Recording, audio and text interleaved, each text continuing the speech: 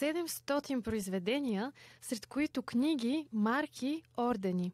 Това е равносметката до тук на днешния гост на Bloomberg TV интервю. Тя се казва Маглена Константинова и е художник. Основната й дейност е да иллюстрира детски книжки. Работила е с Леда Милева в продължение на 17 години. Двете украсяват страниците на 35 книги на поетесата. Поколения деца са учили по буквари и други учебници, чието графично оформление е дело именно на Маглена Константинова. Тя обаче не живее само с миналите си успехи, а трупа такива с днешна дата. Най-новата книга, която излиза под нейно оформление днес, е Светослав Тертер «Полета на Орлето». Автор е известният сценарист и режисьор Павел Павлов, а издателството е изкуства. Какви интересни моменти е преживяла и преживява Маглена Константинова в кариерата си и как е превърнала страста си към рисуването в бизнес, ще разберем сега. Днес представяте книгата Светослав Театър Полета на Орлето, която сте оформили заедно с Павел Павлов. Разкажете ни първо колко време работихте по книгата по трите книги, нали, първа част, втора част, трета част, която последната, която днес е излязла от, от печатницата, 7 години. 7 години се работи по трите книги, защото вътре има много сложни иллюстрации, които са свързани с историческо проучване. А колко време работихте по последната книга, която днес представяте? Една година. Какъв е механизма ви на работа с господин Павлов? Всъщност, а, той ви дава своите идеи, които вие след това превръщате в рисунки. Или пък променяте ли вие неговите идеи с, ваши предложения? Тази книга има ръкопис. Да. И аз работя по този ръкопис, който той ми е дал. Така, и не е чернова, а е ръкопис вече, който е готов за печат. Тоест, вие не работите изобщо по черновата, само по ръкопис. Еми, той по има, първо, вариант, по има вариант. първо чернова, след това има ръкопис, който е за редактиране към издателството и трети път и вече има ръкопис, който е коригиран окончателно и напълно и на диск да. отива в печатницата, където се прави абсолютно всичко на компютър и се разпечатва на машина. Включително иллюстрациите. Тоест, ето, например, тази страница, цялата, ето я, да. ние с колежката да. Ясена Христова, която е ето там при автора, сме я подготвили на екран на компютъра. Да. Иллюстрация, иллюстрацията е сканирана, да. текста е нанесен, буквата е нарисувана и също е сложена на екрана. И тук още една. И това е цялото, цялостното оформление на всяка глава на, вся, на тази книга. Следващите глави слагаме една част от тази иллюстрация която е към едната глава да. до следващата глава. Следващата глава да. започва следващата иллюстрация. Да. Оформлението е едно и също за всички глави, да. но това е вече по този ръкопис, който е даден, прочетен, редактиран, коригиран, да няма никакви грешки. Да. За печат тук на компютъра и оттам вече отива в печатница. Подготвили сте книгата Окръвената палитра. Да. в предварителния разговор ми споменахте, а, която излиза във връзка с 450 годишнината да, от смъртта на Микеланджело. От рождението на гениалният италиански художник Микеланджело Каравачо. А, дайте ни информация какво включваше работата ви по нея. Ами той е почти същото, само че този път, тъй като а, авторът а, вътре, тя не е този роман, е не само исторически, той е психологически защото това е една огромна нечовешка трагедия, която може да се стовари върху един такъв световен гений. Просто накрая на 39 години са му отрязали главата в една черква в Испания. А той е роден в Италия. И във връзка с това доста общувахме с автора. Да. Мина ми през сърцето тази трагедия и е, създадох е, едни иллюстрации, която почти всяка иллюстрация е съчетавана и съгласувана с него като има и мое продължение, за което той не е протестирал. Да. Което пък аз си направих една интерпретация с моите иллюстрации. А, разкажете ни малко повече за това продължение. Ами то е... как да ви обясна? Той като автор е написал да. един художествен текст, който е исторически верен, но същевременно е и роман. Да. И аз вече тук, за разлика от тези иллюстрации в Светослав Тертер, Да. там си позволих а, да а, прехвърля а, темата през чувствителността. И иллюстрациите станаха не както тук, толкова исторически и иллюстративни, колкото а, някакво, ако така може да се каже, иллюстрация на тази трагедия. Като там съм използвала неговите картини. А, да уточним, автора отново е Павел, Павел Павлов. Павлов, нали? да. Вие сама стигате тук до един мой следващ въпрос, който е свързан с това как се правят иллюстрациите. Дали иллюстрацията е буквално претворяване на идеята на автора или ви е позволено на вас като художник да интерпретирате идеята и да добавяте нови елементи към нея, когато иллюстрирате? Ами вижте сега, тъй като съм работила с Леда Милева 17 години, с Павел Павлов 20 години, а, в началото не ми се позволяваше много-много така да си позволявам да интерпретирам текста през моето сърце, ако така може да се каже. Да. Но след това стигнахме до такъв прекрасен човешки, творчески, какъвто искате, приятелски синхрон, че вече те изобщо не ми се бъркаха. И всичко, което аз предлагах, Да. те ми казваха, че отговаря на текста и което е очудващото за тях, че било и продължение на техния текст. Ако може да го разберете. Разбирам и а, ми е интересно да разбера също така дали приятелството по някакъв начин пречи на творческите ви отношения, на това да се критикувате един друг или по-скоро ги подхранва. А, не, не е точно така. Напротив, когато са, сме приятели, им е по-лесно да ми кажат. Отколкото ако сме на ви Да. и не се познаваме, защото аз съм иллюстрирала някъде около 50 български автори, Да. но на пръсти са тези, които могат да се изборят с такова, такъв творчески тандем. Дори и за учебниците не мога да кажа, че се е получавал такъв творчески тандем, защото там а, съм направила над 100 учебника. Там авторите са много взискателни, много протакат нещата, оставят за художника много кратко време. Сега, например, за последния конкурс, 2016 година, ми се наложи за 3 месеца да нарисувам 3000 иллюстрации. Аз не съм спала 3 месеца. И те пак критични.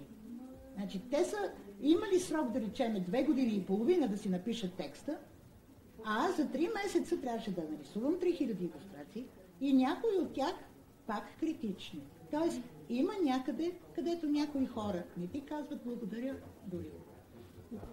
Човек би си помислил точно обратното, че хората, които са големи имена, като Леда Милева, като Павел Павлов, биха били по-критични и по-взискателни. Те А всъщност вие казвате, че Да. по-взискателни са а, другите ви, така се каже, не клиенти, но другите автори, с които работите, а големите имена а, ви оставят повече творческа свобода. Сега, ако мога да ви поясня, Да. те са художествени автори. Те създават художествено творчество. да. Учебниците са друго нещо. Те не пишат текста. Те взимат техните текстове и ги вкарват вътре. Буквари, читанки. Тук съм донесла една читанка или буквар. Като ги разгледате, ще видите, че вътре има текстове от много български автори. И от Леда Милева има много текстове. Да. Но те не пишат стихотворения, разказчета и такива неща. Те ги взимат на готово. Да. И въпреки това са много по-взискателни, отколкото тези автори, които са така наречени по нашите български интелектуалци, Да.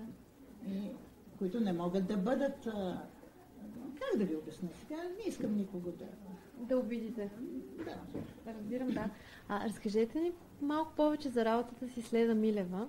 А, работили сте 17 години. Да, 17 А, години и до смъртта. имате 35 книги. Може А, и повече, да се тук съм донесла няколко. да. Не и книги, които сме правили. Това, което ми казахте като предварителна информация, беше около 35 книги. Да. А, кажете ни, а, как се работеше с Леда Милева? Ами с Леда Милева това, което ви беше любопитно да ме попитате, когато аз а, тогава бях ох, не си спомням на колко години съм била, 40 трябва да съм била, или 45, може и повече да е било. А, тя беше много строга. В началото, Мгм. когато Иван Границки не запозна Да. с нея, защото трябваше да издадеме поредното зайченце бяло. Да.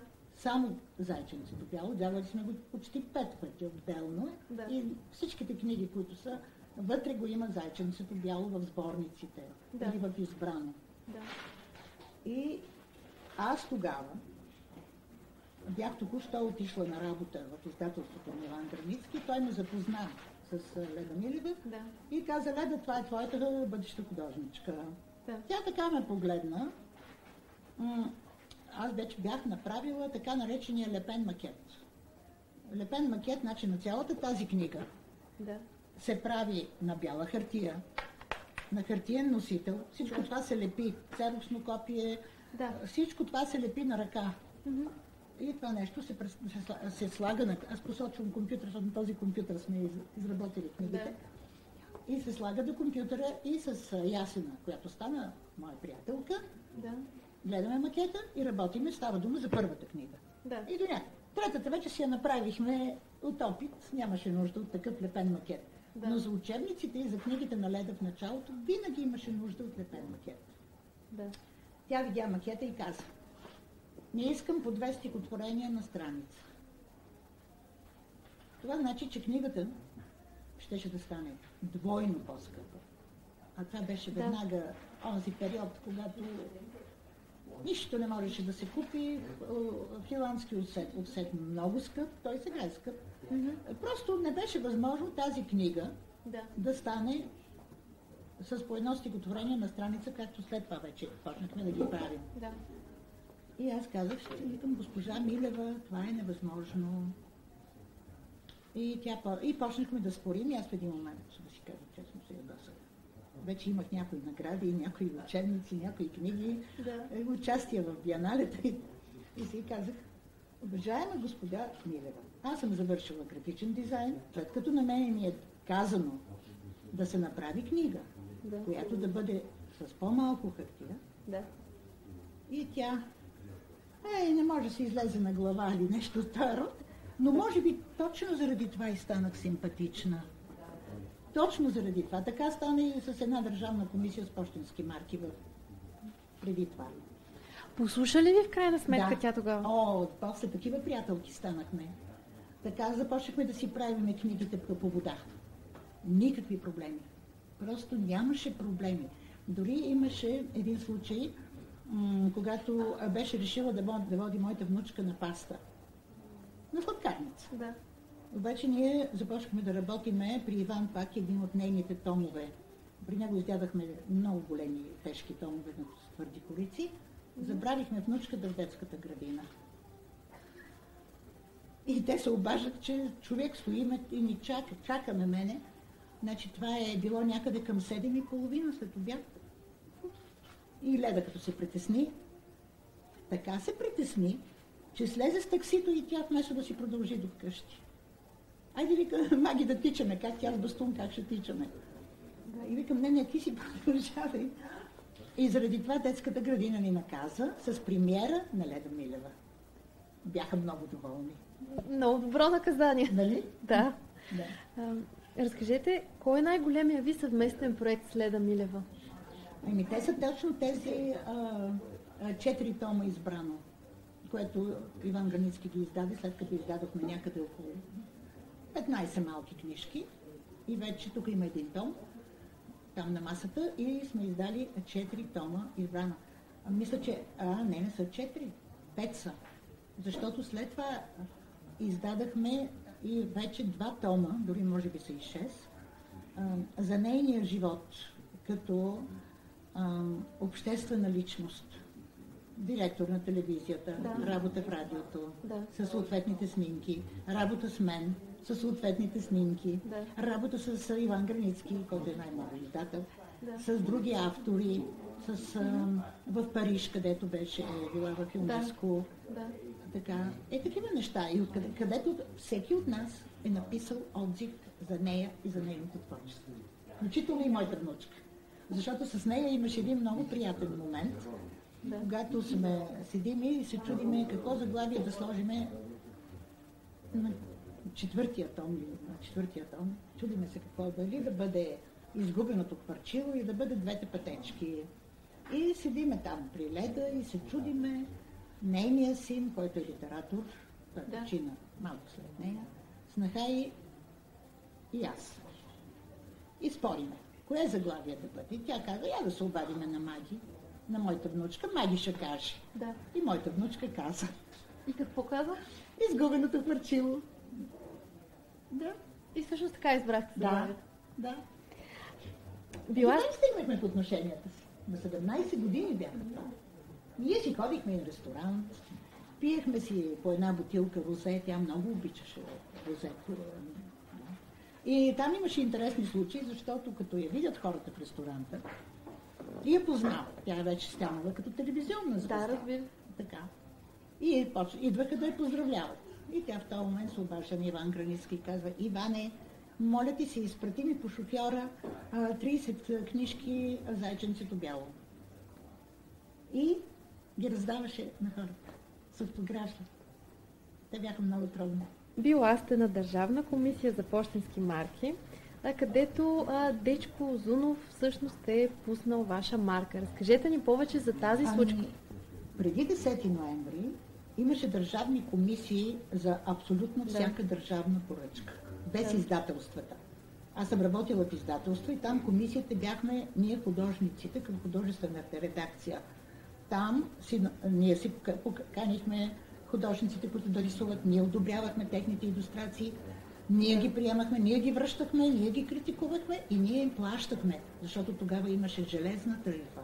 Не беше възможно да се плаща, както сега се плаща, еднакво на всички. За което аз много протестирам. Много. Няма значение дали е добро или лошо. Хонорарите еднакви. Да. Става така. И а, тогава имаше държавни комисии за всичко. За учебни помагала. Да. Имаше за почтенски марки, за скулптура, за абсолютно всички държавни поръчки.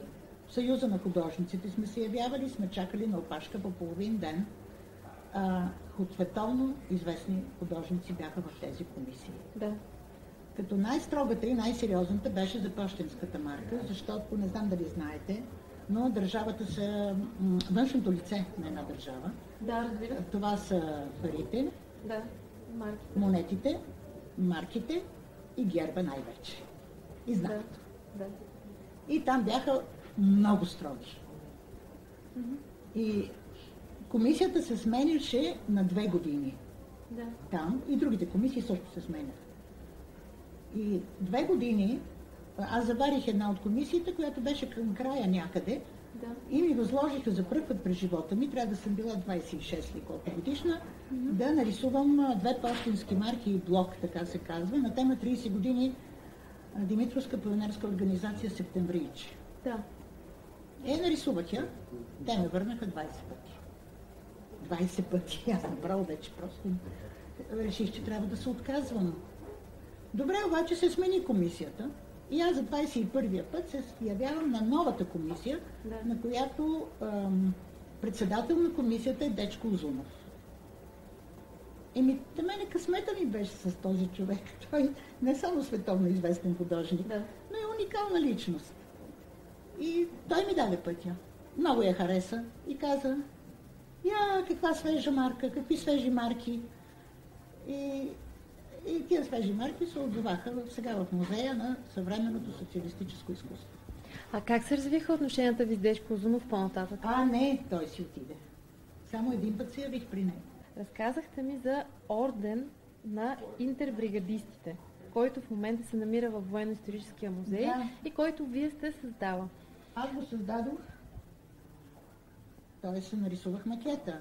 Е, сега този, който вече скулптура, който го изпълнил, е друг колега, но аз нарисувах проекта, нали, както тук си правиш проекта, кой го изпълнява и след това е работен, доколкото знам, във фабриката на...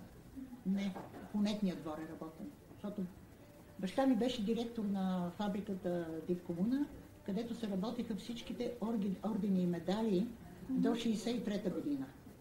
Да. Те бяха с емайл, с копринени панделки, Да. като старите медали. Ста- А, Но след това вече, когато аз трябваше да направя този медал, а, вече беше а, дошъл на мода монетният им образ. Мгм. И се работиха Да. в монетния двор. Да. И това, което го направих, а, поръчаха ми го, вече не помня как стана и това поръчване. Направих го, има го в книгата за медалите, но името ми не е публикувано. А какво представлява самия медал? Какъв е образа? На интербригадист. Да. И от много пише, разбира се, Испания, а на другия гръб, на гърба не си спомням, ще трябва да отида и да ги помоля да го отворят, да се видя какво има отзад. А, пише Испания, за да уточним, защото става дума за Испанската гражданска война. За българските интербригадисти, които участва. доброволно са заминали да участват в Испанската война. Да. А, имало ли е иллюстрация, а, която особено да ви е затруднила? Тоест, а, текста да е бил такъв, че е трудно да сте открили подходящата рисунка, която да го демонстрира. Ето сега с книгата на Павел Павлов, който е тук, се случи такова нещо. И наложи се да скъсам две-три иллюстрации. Не можах, тъй като казах ви тук е, темата е психическа и по-друго беше. Става дума за Микеланджело, нали? Да, за Микеланджело. Много е трудно да иллюстрираш за художник. И то такъв гений. А, спомняте ли си какви иллюстрации изкъсахте? Какво Те са изобразяваха? Те са тук иллюстрации. Но все пак какво изобразяваха? И не мога да ви обяснявам, те са много, 13 иллюстрации. Може би, ако искате, ги погледнете, покажете ги, да ги, да ги видим, ако искате. Добре, после ще ги покажем. Да. А, имало ли е случай по ваша иллюстрация или по ваша идея за иллюстрация, автора с който работите да се вдъхнови, да промени нещо в текста си? А, само в филателията нямам спомен. Нямам спомен. Може и да е имало. Но аз толкова нещо съм нарисувала и с толкова автори съм работила. Не мога да помня всичко от 26 години до сега. Така. Да. Но в филателията имаше два случая, когато се преиздадоха мои неща. Защото просто съвпадаха с годишнина. Специално беше за български държавни железници. Мгм. И добре стана, харесаха се на филателистите, доколкото разбрах. Благодаря ви много за разговора. Желая ви още много успехи. Аз много ви благодаря за едно нещо, което много ме впечатли, че показахте художник. Просто сте ме трогнали. Като че ли нашата гилдия на художниците е доста пренебрегната. Така поне мисля и затова съм ви дълбоко благодарна. И другото, което е, а, че а, показахте художник, който рисува по този начин. А, по кой начин, извинявайте? Еми не е някакво, някакво модернистично изкуство, нали, което клони към детската рисунка. Аз не мога да рисувам така, защото рисувам учебници. Не мога да рисувам за дете в първи клас една лисица, която да прилича на мишка. Разбирам ви, да, добре. Благодаря ви много много. обичам децата. Благодаря ви много. Да. И аз на вас много ви благодаря.